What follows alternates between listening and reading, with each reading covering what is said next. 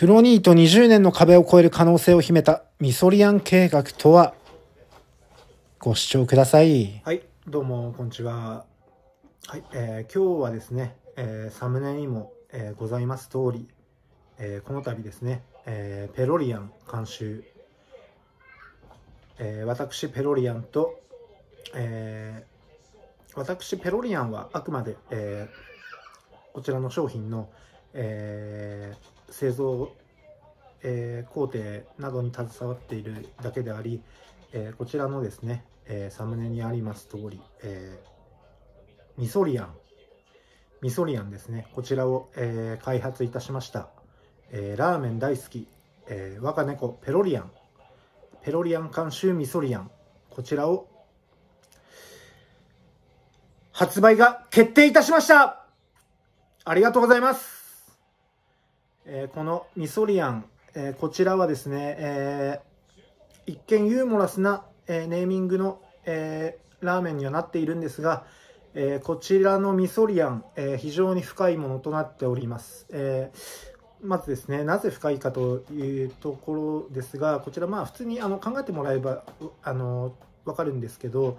えまずですね、私ですね、え10年以上、えーギャンブル歴がございまして、えー今、今現在ですね、えー家の総資産、あのこれ、えーネタとか釣りとかじゃなくて、えー本当にあの、えー130円なくて、であのコンビニであのどうしてもコーヒー買いたかったんですけど、コーヒーが買えないです。そういう状況が、えー10年以上、えーこのギャンブル歴により、えー続いてきました。そちらの生活をですね、私、ペロリアンの今の、えー今というか10年前から続く、えーこの格闘技、えーやめてから、えーフェードアウトしてから続いているこの、えー閉塞したこの状況ですね、えー缶コーヒーも買えないというこの、えー10年以上続いた状況を打破してくれる、えー本当に希望に満ちた、えーラーメン、えー我が猫ペロリアンが、えー去年ですね、えこの時期に、えちょうどこの時期です、えペロリアン我が家、え我が家に来てくれて1年がちょうど経ちます、えその記念すべき、え年に、えペロリアンが、え独自開発いたしました、えラーメン。ペロリアン完全監修。ミソリアン、えこちらですね、え全国の、えコンビニにて発売が決定いたしました。ありがとうございます、えこれでですね、えー私の、えこの10年以上続いた、えこの閉塞感こちらを打ち破る、えまあ、最終兵器といいますか、えこのミソリアンに希望を乗せて、え私ペロリアンの人生はやっと本当の意味で、えスタートしていくのではないかという、え希望を、え今、え感じております、えこちらですね、えまず経緯になりますが、えーミソリアン、えーこちらですね、えー昨日僕が昨日というかあの寝てないんですけどあのーちょっと僕あの我が猫のですねペロリアンが、え昨日ですね、え突如思いつきまして、えひらめきまして、えペロリアンはすごい幸福を、え運んでくれるんです。あのたまに運んでくれるんですけどあのーペロリアンはですね、えーすごくあのグルメというかあの猫舌ではあるんですが、えーいろんな食べ物が好きでして、えーまず最初にですね、えキャットフード以外に僕が挙げたものとしては、え去年のあの格闘技大会が終わった後にですね年末の格闘技大会が終わった後にちょっとあのえ僕自身は負けてしまったんですけど、えーまあ、それをですね、まあ、ちょっとあの祝勝会あ祝勝会じゃないあの、まああのまあ、1年終わるっていう意味合いもありまして打ち上げで、えーペロリアンにマグロを与えたところ初めて与えたところ非常に喜んでおりましてそれからですね、えーまああのーちょっといろいろ調べて、えーペロリアンにあげてもいいものっていうのを、あの与えるようにしていたんですけどそしたらですねペロリアンがその中でも特にあの興味を示した、えー食べ物がございましてそれがラーメンだったんですね。でラーメン自体は僕もあのすごくあの大好きで、まあ、男でしたら男性でしたら、やっぱりラーメン嫌いな方ってそんなにいらっしゃらないかなとは思うんですけど、まあ、女性でもね今はあの一人でラーメン屋に行ったりとかしてる方ももちろんたくさんいらっしゃると思います。いらっしゃると思います。で、まあ、そういう中で、まあ、先ほども少しあの触れさせていただいたんですが僕あの10年以上ですね、えー、ギャンブル歴がございましてで今ちょっとこういうあのそのあのギャンブル歴によって非常に苦しんでいる状況が10年以上続いているんですけど、まあ、あの全てをね話すと非常に苦労話長くなってしまいますんで、まあ、簡潔に言うと、まあ、今はちょっとあの即興で思い出せるものとしたらまず借金があってで、まあ、その借金返せないんで今破産手続き中です。でそれであとは何ですかね。あと、えー、自殺未遂。これもあの、えー、2回2回してますね。2回してて。で、えーまあ、逮捕歴逮捕歴も2回あります。はい、えー、で、まあ、あとなんだろうな。あ、まあ、あと、まあ、僕の代名詞と言いますと、ペロリアンの代名詞は童貞ですね。はい、えー、童貞っていうのは、あの僕、ペロリアンもそうですし、ペロリアンもそうです。童貞です。はい。えー、で、まあ、あのそういったまあいろいろ、あのまあ、あと転職後転職が500回以上あるあもう600回に迫る勢いで転職してます、えーあと、まあ、いろいろあるんですけど、あの、黒話っていうか、まあ、そういう最底辺の僕がですね、あの、この、えー、ここ、最底辺から、えー、一度はね、あの、一度、二度ですね、えー、そこの底に行って、えー、自殺を2回経験した、自殺未遂に2回経験した僕、あの、本当に最底辺ですけど、この、えー、ペロリアンがですね、えー、大のラーメン好きのペロリアンが、あの、昨日ひらめいたあのペロリアンがですね昨日あの僕があのシャワー上がった後にすごくですね泣いてるんですよね。僕を見て泣いてるんです。そして僕はそのペロリアンの思考がバッてあの投影されましてあこういうことを伝えたかったんで伝えたかったんでっていうのがすぐに汲み汲み取れたんですよ。ペロリアンは幸福を招き入れてくれる猫なんででそのまああのペロリアンの考えっていうのがミソリアン。こちらの全国発売だったんですね。はい。あのこれですねあの僕ちょっと一見ふざけてるようにちょっと映ってるかもしれないんですけどそれからですねミソリアンについて非常にあのすごく考えたんですね。考えたんですけど総合的に考えてやっぱこれみんなが幸せになるえー、計画だと思うんですよね。日本ミソリアン計画。って言っても過言ではないと思うんですけど、あのまあ、すごいいろんな意味合いが含まれてまして、まずあのこういう僕がですね、あのまあ、先ほども言いました、まあ、童貞でもあります35年間、えー、女性とお付き合いしたこともなければ性行為もしたことがないあの童貞なんですけど、それはあのペロリアンも一緒なんですけど、あのそういう、えー、自殺未遂もして、えー、どこの職場でもうまくなじめず、組織でもうまくなじめず、えー、ずっと一人で生きてきて、今破産手続き中で、えー、所持金が130円なくて缶コーヒーも買えない僕が、僕のようなものが、えー、この、えペロリアンの、えひらめいた、えこのミソリアン計画によって、えまあ、全国展開、ミソリアンが全国展開、店頭に置かれてですね、いろんな方がもちろん食べると思うんです。これ、あの、なんでかっていうと、これも僕すごい考えたんですよ。ミソリアンがなぜ食べられるかっていうのをすごく考えたんですけど、それはですね、やっぱりあの、ま、セブンイレブンとか仮に、まあ、行ったとしましょう。行ったとしまして、カップラーメンコーナー、あの、もちろん皆さんね、いろんな方が買われると思うんです。あの、現場作業員ですとか、よく、あの、休憩中に購入して、あの、コンビニの、あの、給湯器で、あの、入れて、まあ、みんなの味方ですよね。あの僕自身もあのたくさん、あのそれであの自殺も、あの3度目の自殺も踏みとどまれたっていうこともありますし、ま、なんとかあの食いつないでいける。みんな庶民の味方ですよね。えー、まあ、お金持ってる人もあの好きな方ももちろんいらっしゃいますし、あのまあ、日本の味といっても過言ではない。その市場にですね、その、えー、日本の、えー、カップラーメン、まあ、もしくはラーメン市場にえミソリアンが置かれるっていうのはすごい深い意味合いがありましてこれあの犯罪抑止とかあの自殺防止とかいろんな観点から考えてもみんながあの幸福になるんですよね。その要素しかないんですよ。あの、それから、ひらめいてからずっとそそのペロ、ペロリアンの考えたミソリアン計画についてずっと考えてから、やっぱその要素しかないんですよね。総合的に考えて。いい点しか思い浮かばなかったっていう。主だったあのマイナス面っていうのが思いつかない。で、売れる要素も相当あると。なんでかっていうと、あの、コンビニ行くじゃないですか。僕も、あの、カップラーメンなんてめちゃめちゃ食ってるんで、で、皆さんももちろんそうだと思うんですけど、で、あの、まあ、ずっと支えられてたカップラーメン。これ買うとき、皆さんどういうふうに決めてますか？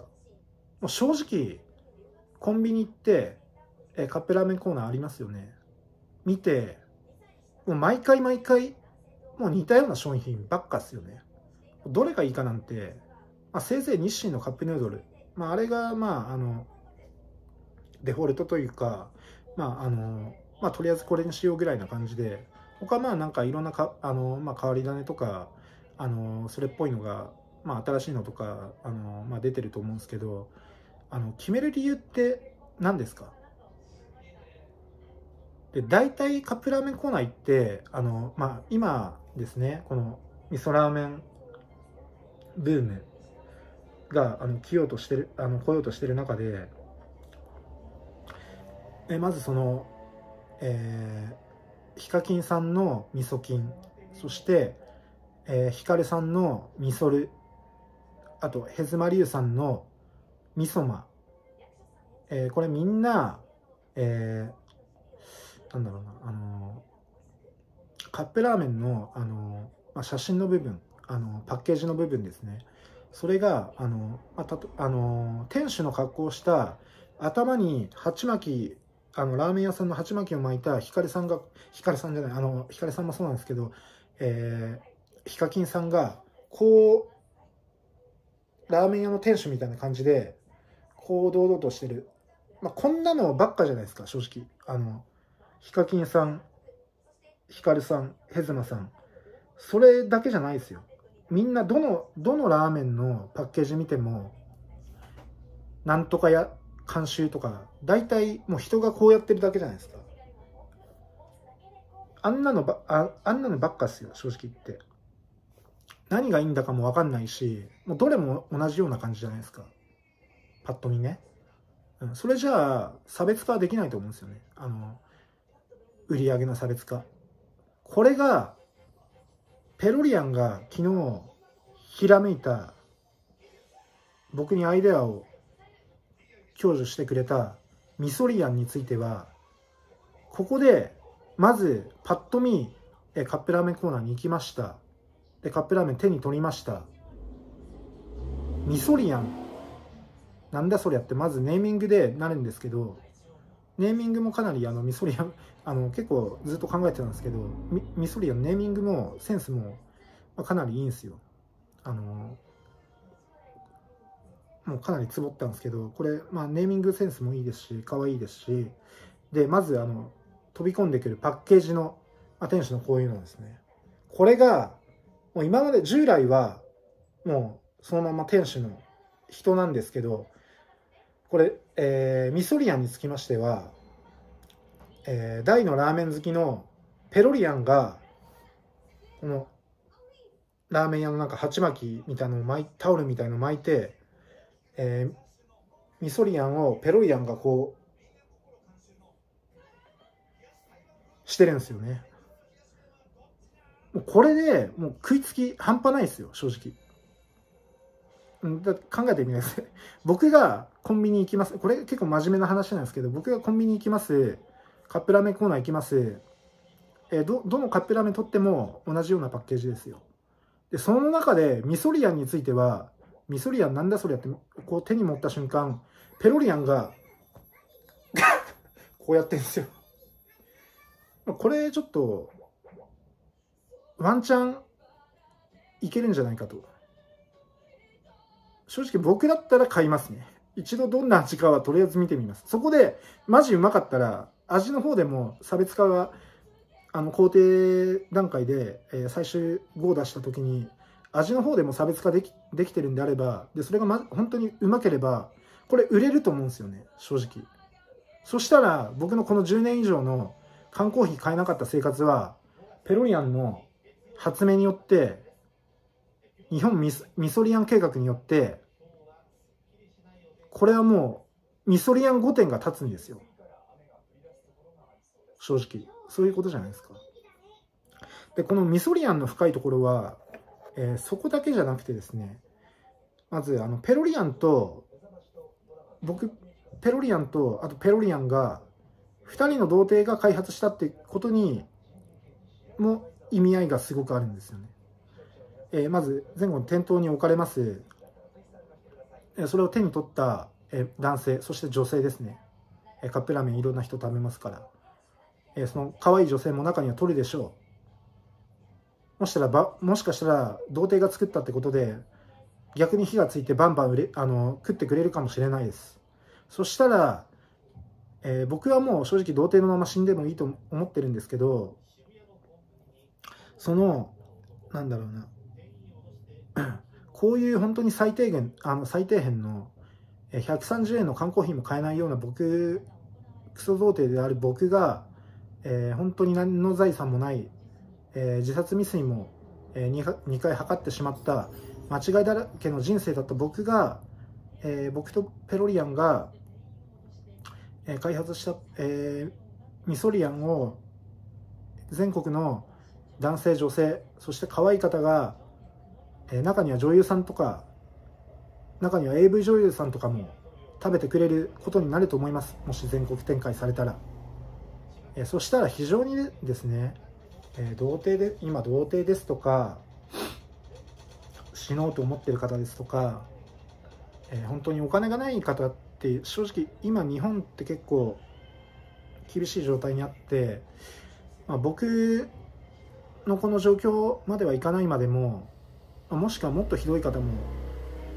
いらっしゃることだとは思いますしやっぱりそこでですねいろんな効果が波及してくると思うんですよね。えー、監修がペロリアンということで、えー自殺日本の自殺率っていうのも正直凄まじいものがありますし今犯罪もですね非常に増えてます、えーそういうのも全部、えー元をたどると、えーまあ童貞とまではいかないまでも基本的に人の問題っていうのは犯罪が起こる理由っていうのもそうなんですけど2つなんですよね。お金と女性です。異性ですね。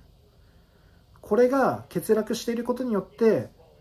今ですね日本国内でさまざまな問題が非常に深刻化しているわけなんですよ。それがですねこの日本ミソリアン計画によって、えー解決解決とまではいかないまでも、えー軽減に一役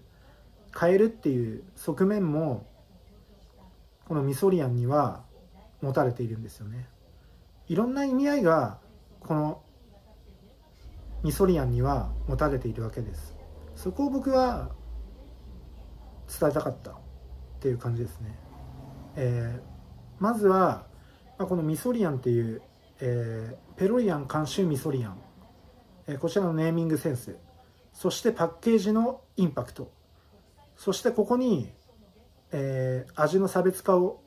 加えることができればこれはワンチャン。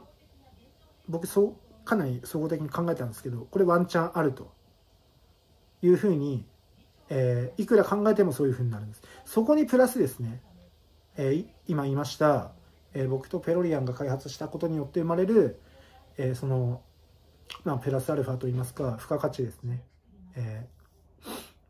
童貞の方ですとか、えお金がない、え女性に対してコンプレックスを持っている、え自殺しようとも思っているような方にですねこのミソリアンをぜひ食べていただきたいですね正直。あのそんぐらい崇高な気持ちでこのミソリアンにミソリアン計画については進めていきたいっていうふうに思ってます。これは本気です、えー僕の人生も変わりますし、えー購入してくれた方々の人生もいい方向に変えれるように精進して、えー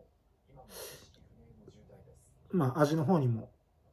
まあいろいろ品質ですね。あのこだわって最終的に5を出していきたいと思っております。でこれで最終的にミソリアン5点が立つと。これ完璧なんですよ、正直。日本ミソリアン計画進めるしかなくないですか？これ。やばくないですか？ちょっと。俺考えたんですけど、俺が考えたっていう割は、ペロリアンがあの思いついてくれて、あの僕に伝えてくれたんですけど、このミソリアン計画、これ結構やばいと思うんですよ。で、ワンチャンあるんですよ、これ。結構考えたんですけど。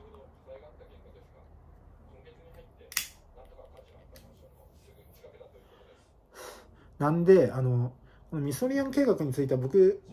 ちょっと、かなり熱いものがございまして、情熱相当あるんで、そう、あの、めっちゃレベルの高いミソリアン開発したいんですけど、いかんせんですね、あの、事業資金、ミソリアン製造に関する、全国展開に関するあの事業資金はですね、僕130円ないので、えー、なので、ここでなんで動画を今撮ろうかと思ったっていうのは、このミソリアン、ペロリアン監修ミソリアンをぜひですね、スポンサードしていただける、えー、企業様、個人様、えー、全く、えー、問いません。どなたでも構いません。ミソリアンをですね、ペロリアンの考えた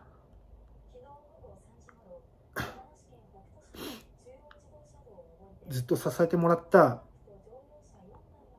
ラーメンに僕は人生をかけたいと思っております。できっとペロリアンも